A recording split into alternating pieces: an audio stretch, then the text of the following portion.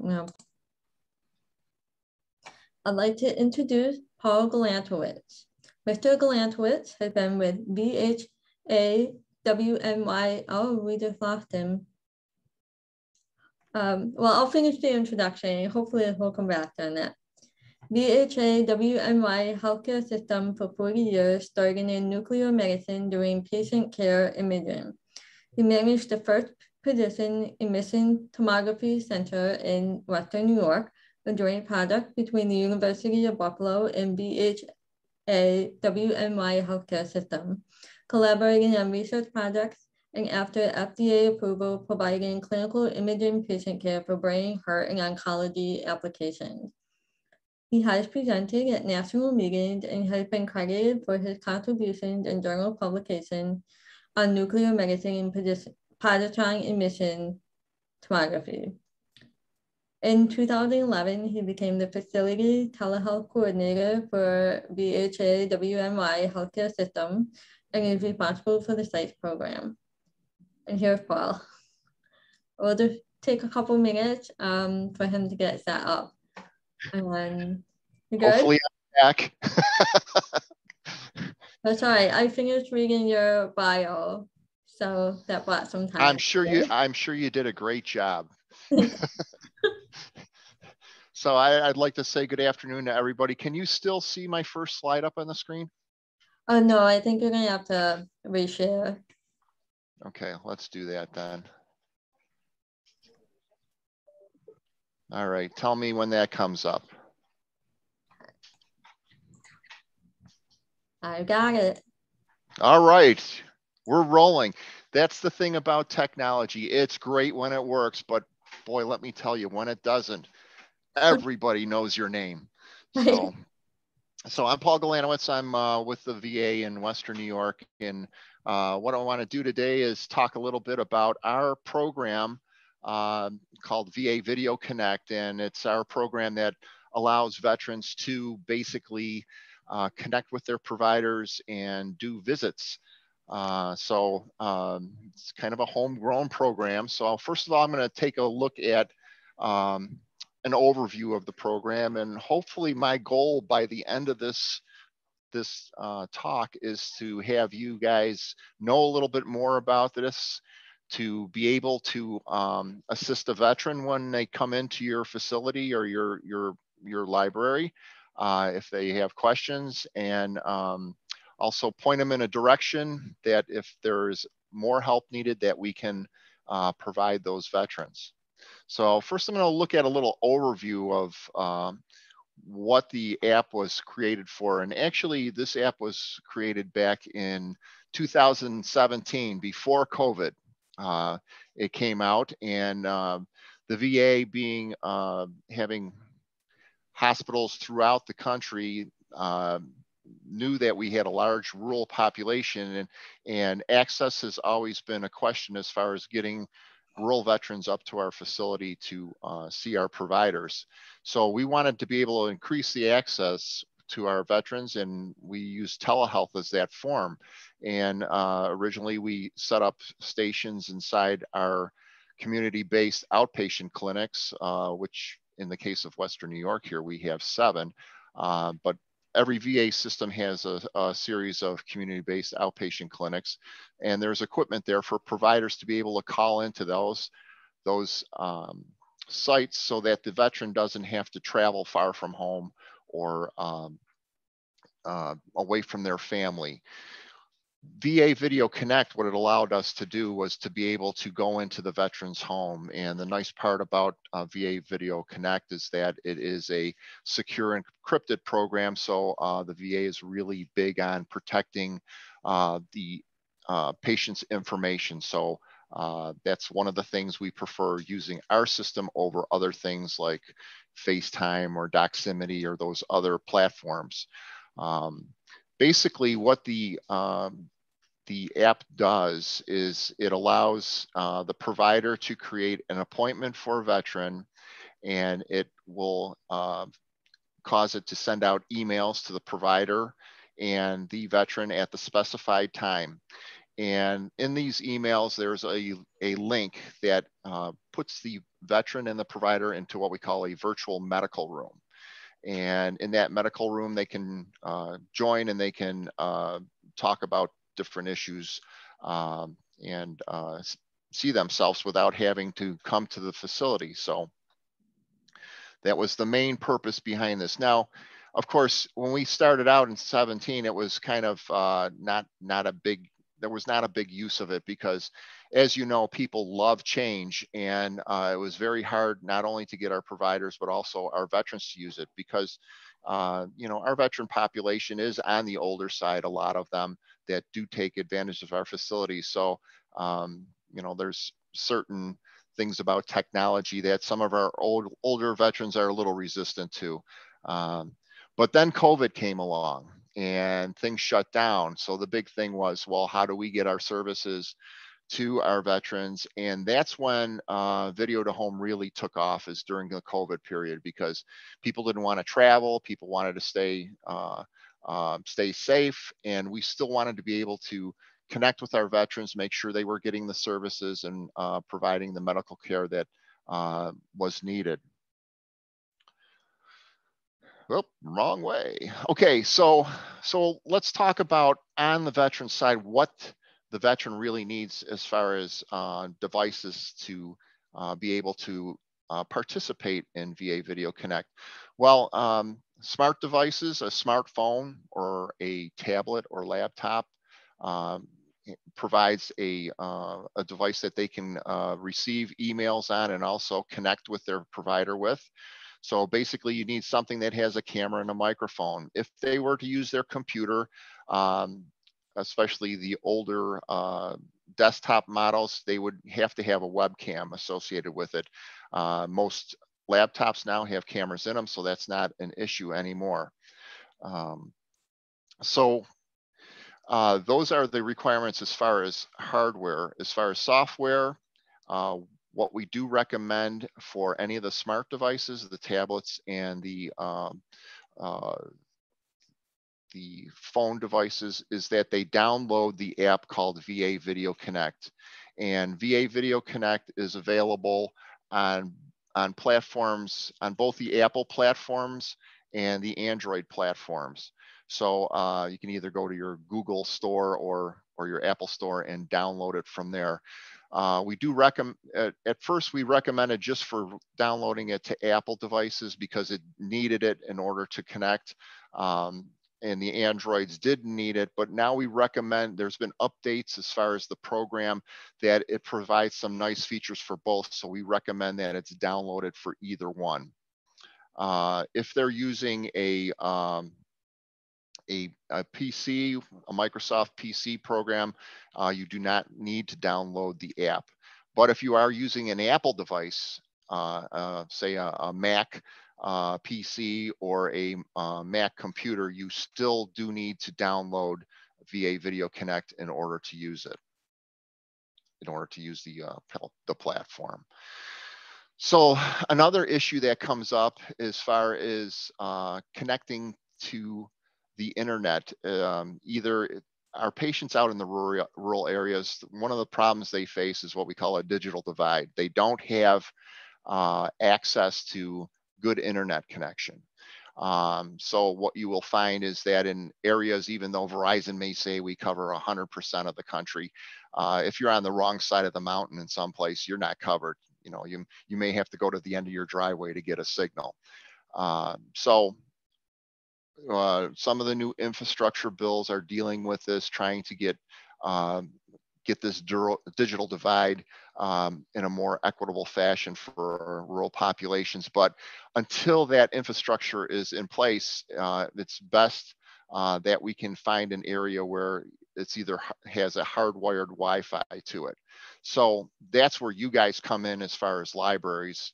Uh, it's it's an area where uh, our veterans can go to and even if they sat in the parking lot in the in their car they could connect to a, a reliable wi-fi that they can do their visit with um, so wi-fi is important the other the other thing is uh, with cellular data uh, and doing video video takes up a lot of data. So uh, if you're just going over cellular, uh, like a 4G or, or 5G, um, you're not going to get as quality a um, a visit as you would over a hardwired or a Wi-Fi system. So, so prefer we prefer to have them on some type of Wi-Fi system or hardwired.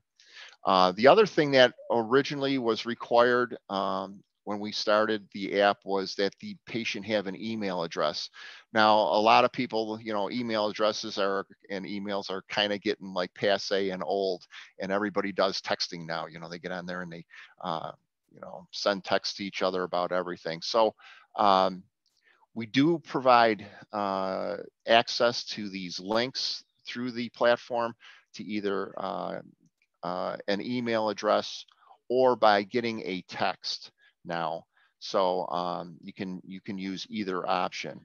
And uh, as far as the browser that the patient uses, uh, you know, like an Apple, you usually default to a Safari brow browser, and most of the Androids are like on a Google browser. Uh, we recommend that uh, the browser it goes to is either uh, an Edge or a Chrome uh, browser. So those are the uh, most reliable we found. And um, so as far as what's needed as far as the veteran to set up their device, uh, like I said, the first, first thing that is really needed is for them to download the VA Video Connect app from uh, either the Google Play Store if it's an Android or Apple App Store if it's for an Apple system. Uh, once downloaded, um, it'll prompt you, you'll usually get prompts about whether or not to allow access for your camera and your audio. And it's very important that when the veteran does this process that they allow the access because otherwise you can run into situations when they do their first visit that maybe they allowed the camera, but there's no sound because they didn't allow access to the microphone.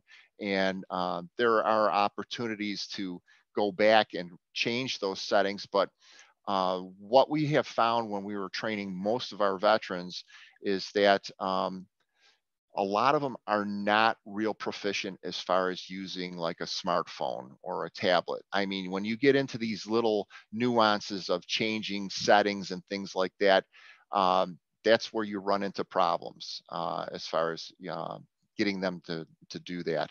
So it's best if they do it right off the bat. That way it eliminates it.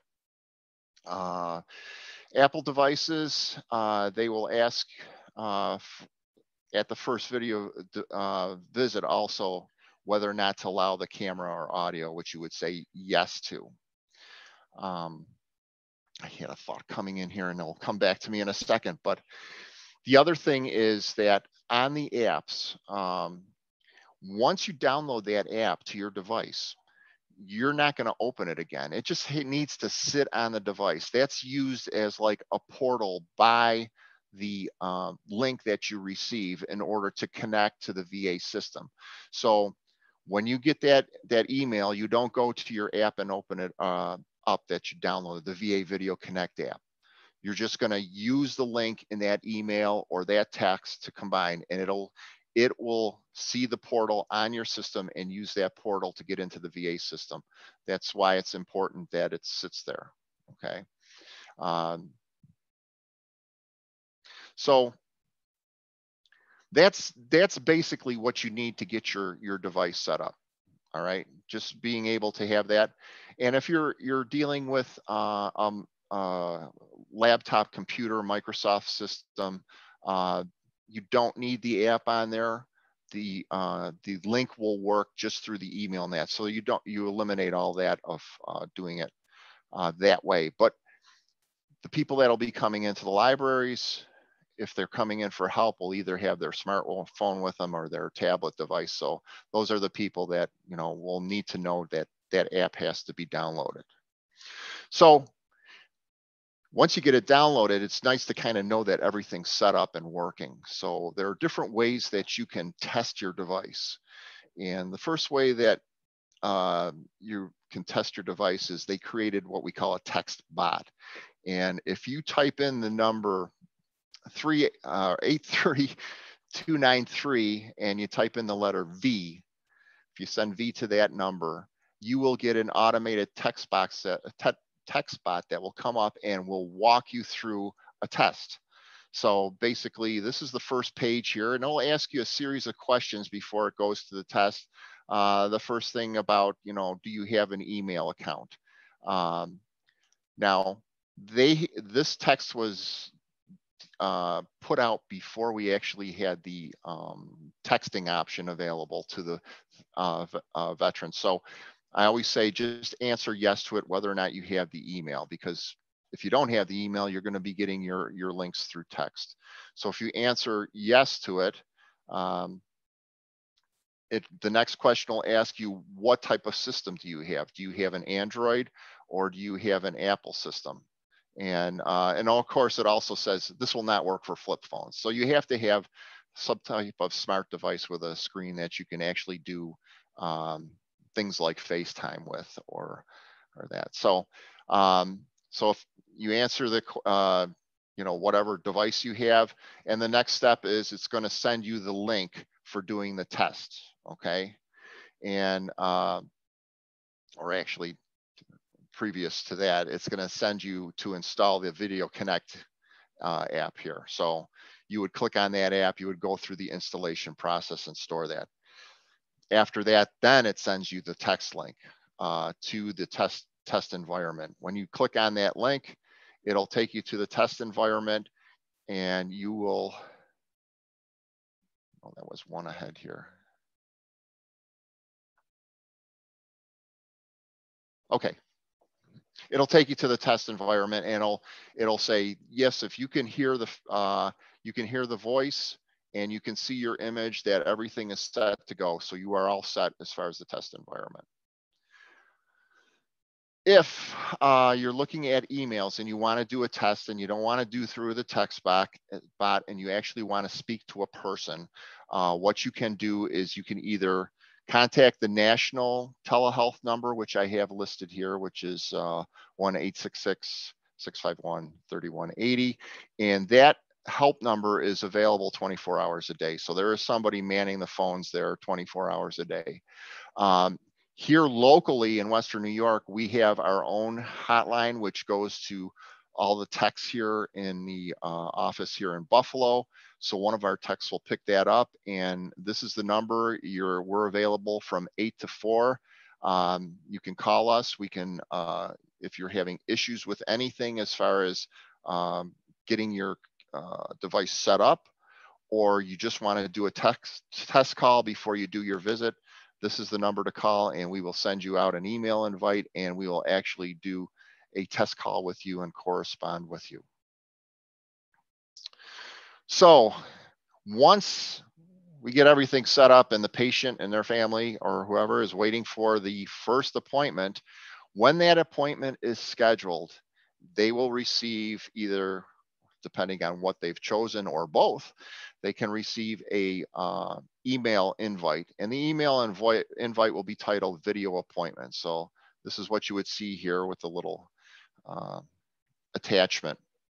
And when you look into that attachment and open it up, it'll show you the appointment information, when the appointment is occurring, what time it is, Eastern Standard Time. And the patient will just have initials. Uh, one thing that uh, they stressed as far as when they put out this this format is that they didn't want any PHI for the patient in those emails. So um, there's very limited data, just the, uh, the time of the appointment and the initials of the appointment. And then this join the VA Video Connect appointment. This is actually the link that the veteran would click on, click, click on, click on to join the appointment. So uh, this would this goes ahead and opens up uh, the virtual medical room uh, where they will wait for their patient. Now, if it's a text message, they will receive a similar thing telling them the date and time of their appointment, which is upcoming. It'll also show them, uh, give them the link. Now, there are, this is not just a one-time text or a one-time email. Uh, depending on how far out your appointment is, you will receive, you could receive up to four emails or up to four messages. Uh, you will receive one the, the day that it's scheduled, saying you have the appointment, seven days prior to the appointment, uh, the day before the appointment, and the day of. And those appointments will have the link on there to join. So there are several opportunities here. Um, not to lose the email or, or delete the email and be you know out of luck for uh, joining your appointment or having to have it reset. So the one thing about the appointment since it, when it comes in especially if you're doing if you're doing emails if you don't see the appointment at one of these times is we have the patients check their junk mail or their spam email. There might be something they have set in their software um, or their antivirus uh, software that causes it to go to spam. So um, we have them check that, but there are numerous uh, emails that are sent out to remind them. Once they, uh, the day of the appointment, well, we don't want that yet. Sorry about that. So once once the um, they receive the email and they open it up, they click the link. The first screen they're going to see is what you have over on the left hand side here and it's going to ask for the patient's name first of all. And then the next will be uh, since the the invites can also include a caregiver that we have a box for checking off if they're a guest of uh, not the patient uh, or the patient for this appointment. So they can check that off to show that'll be that there's a guest along with it. The second portion which is very important is the location of the video appointment because uh, a person with a mobile device could be anywhere. They're not necessarily in their home, in their home, but also they could be uh, they could be see, sitting at a local McDonald's, or they could be at the library, or they could be in the corner of Tim Hortons. The importance of the location is if there is an emergency, either a medical or behavioral emergency, it's very important that we know where the veteran is so that we can get help to them in case there's there's something going on. So um, when the doctor or the provider first gets on with the patient, the first thing that they are required to do is bring this up and it's it's hooked into what we call an E911 system and go through the um, the address with the patient. Now the patient can refuse to, uh, or the veteran can refuse to put that information in, but you know that'll be noted ahead of time, and it's up to the provider whether or not they want to continue the visit. So once they have that, they're going to hit connect, and uh, it'll take them to a, this next screen, which is on your right, and I'll play for you the little little. Tell me if you can hear this. No? Okay. All right. Well, it's just telling it's um, telling them welcome to the VA Video Connect session, and uh, that it's a it's a safe and secure uh, private session. Uh, your provider will join you shortly. If it's more than 15 minutes before your uh, before your appointment time, you may want to sign off and come back in a few minutes. Um, so that's basically the spiel that it goes through. Sorry, I was hoping that was going to play. Um, the other things I just wanted to make note on the screen here, there are a few icons on the screen here. Uh, basically, the microphone is for turning on and off your microphone. The little uh, video uh, camera here is uh, for showing your, uh, your video. Uh, so you can turn on and off your video. Um, the camera icon with the circling arrows is for changing which camera you're using. On a smart device, you usually have a front and a back camera. So you could change your camera angle. So say you know you're talking with your provider and they wanted to like see your home environment or there's something on your foot you want to show them it's a lot easier just to turn the camera around and show them something on your foot say if you were talking about something that's going on with that. The hand is for the chat there's to be recognized. The information it just kind of tells you information about the uh, the program and everything uh, kind of technical you're really not going to look at that the most important thing on these is this little hang up button. Okay, so when, when you're done with the session, you're gonna wanna click that hang up button so that it takes everything off, okay? And uh, I'll, well, I'll, I'll talk about that in troubleshooting, okay? So, so that's basically it as far as connecting in with your provider and getting started with the session. Once you finish the session, both sides hang up and that's it. The uh, when you do get the appointment, it's usually good for uh, 12 hours. That link is good for 12 hours. So if for some reason the veteran was late, say an hour late or something, and as long as the provider agrees to it, they can still meet uh, in within that day frame. Uh, if it's later than that, usually you can't. The link is no more longer viable. So one of the things that comes up, of course, like I said, when technology works, it's great, but when it doesn't, uh, that's when you know people get frustrated. Not only not only the veterans, but also the providers get frustrated. So uh, some of the the tips that we uh, provide you as far as making it a better visit with uh, the the provider for um, uh, using the video VA Video Connect is that one, one that they use either a Chrome or Edge browser. browser. Uh, Apple usually defaults to a Safari window, which is fine. Um, I got I got touchy fingers here. Okay. Um, another thing that we see with a lot of our veterans, since they're really not familiar with the operations of their smart devices, is open windows in the background. And what what we we found a lot of times what will happen is if you get a lot of open windows in the background it'll slow down connections. It'll it'll not uh, the program won't be able to connect to it. Uh, so you get the spinning wheel of death in front of you while you're waiting for it to come up so we recommend that you know they go back and uh, close all the windows that are open in the background so uh, one way to do that is to go through it and close it. Another way is to totally shut your system off and then turn it back on. That'll also close all the windows in the back. Um, another thing is uh, sometimes the veterans get a little fast with the clicking on the finger and they open two sessions. So all of a sudden they're in one session and when they open up the window, there's their name is on there twice.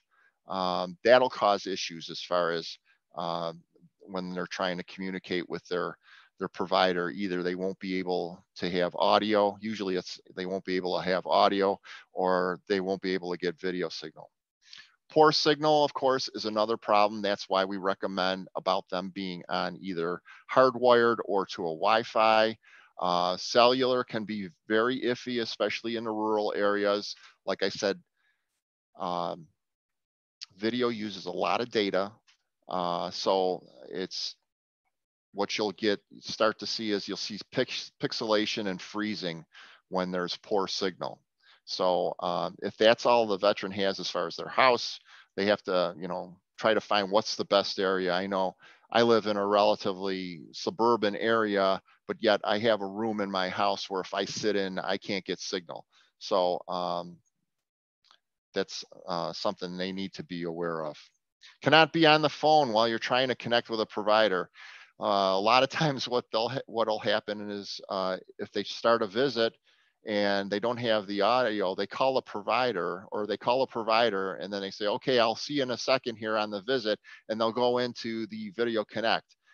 Well, the problem with that is the phone has uh, has control over the microphone. And if if I only have one microphone, I can only give that out to one thing, okay? I can't have it on the phone and also on the video. So if they get on and the video connects, but there's no audio, it's because that veteran might still be on, on the phone with uh, the provider.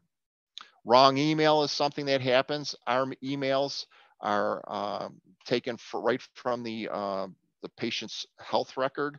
Um, and usually when the appointments are set up, we confirm the email with the patient. Um, we have had occasion too where if the patient is using a caregiver's email, we might get the wrong information. Uh, but that's something that can always be rectified with a phone call. We can resend out a new link right away. So that's not always a big issue. But you know, if it's like the guy says I'm on and the provider says I'm on, but nobody has, you know, they're not seeing each other. It's like being in two different rooms. So I did mention about email. Um, sometimes there is problems with it winding up in a, spash, uh, a spam or a trash folder. So uh, that's one thing. And did not click the page down, uh, page down on the start button. Okay, so they'll get to the that screen and they'll just sit there with that screen on as far as typing in their information and that and not going and paging down to the start button. A lot of it depends on which way you hold your phone too. Uh, now the screens I showed you were holding the phone straight up. Uh, if you turn it sideways, a lot of times you lose that information at the bottom and what you need to do is you need to page up and down to get that. So if they didn't hit the start button, they won't see that. So those are some of the common troubleshooting things. Now, there is also, if you type in VA Video Connect onto uh, YouTube, there are a whole bunch of short videos that'll show you different aspects of VA Video Connect, whether it be troubleshooting, uh, you know, the veteran side, the provider side. So there's a lot of good information on YouTube. YouTube, I find, is such a valuable, can be such a valuable uh, uh, tool because uh, you can learn so much on how to do something on YouTube. And and for those of us that are visual learners, it's it's really a great thing. So I recommend looking at it if you want to look at more information. I do want to help uh, emphasize the help desk numbers.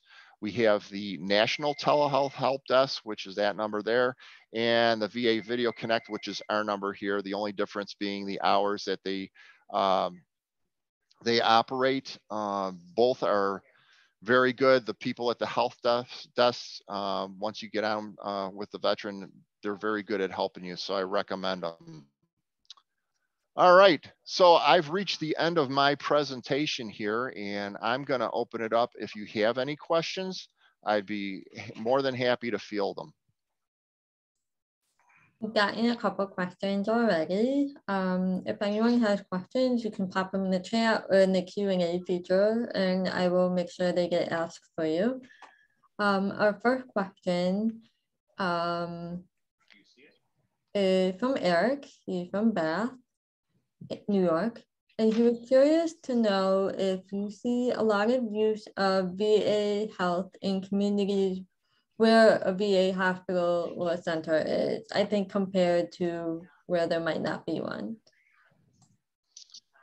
Uh, as far as video to the home uh, and use of telehealth, yes, I, there is still a lot of use. I mean, I know we do a number of patients in and around Buffalo and the suburbs, even though we're, you know, a patient may be relatively close as far as traveling. Uh, like I said, there are for telehealth, there are situations that it's just a little more convenient. Say if you have a family or you're watching kids and you can't get out of the house, I mean, you could still see your provider uh, while you know taking care of those responsibilities or for people that are eh, you know actively working if they're uh, on the job if they can take a, a 15 minute 20 minute break or they can on their lunch connect with their provider to do their session it just uh, adds a level of access and convenience for them. Okay, that makes sense. Um, another question from Eric. He wanted to know if the user has to have signed up for E911 with their phone service provider for the system that the petitioner uses to work. No. Uh, no, that the system that we're using is separate from what the veteran has. I mean, it's it's tied into the Video Connect system. We have a we have a support number. Uh, the the the provider goes through that um, listing just to make sure that everything is correct on the address. And uh, he submits that and it'll tell them whether or not there are E911 services available in that area. If not, there's a general number that will connect us uh, to an operator that will coordinate the uh, services that are needed to get to the veteran.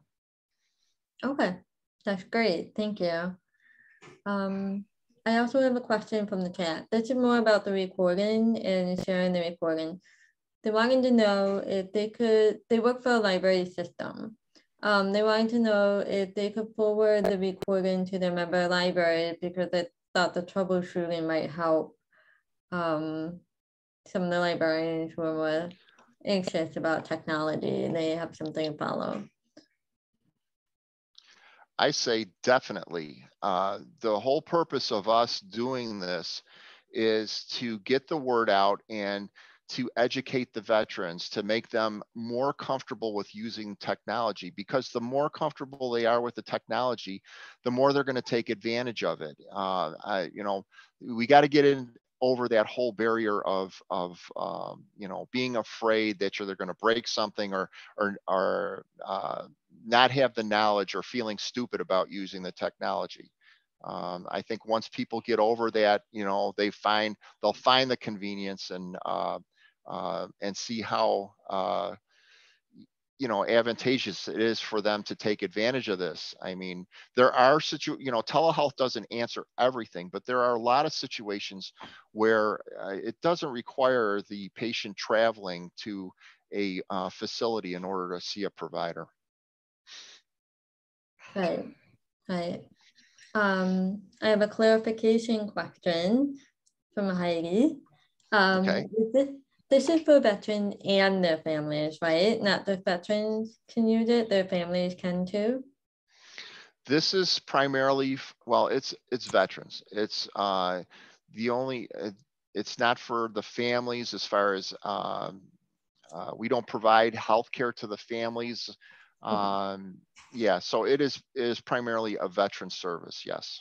Okay, got it but a lot of times what you know as far as the families go they are involved in their care or a lot of times they are caregivers for their veterans. So it's important that they you know know how to uh, access this this technology. That makes sense. Okay.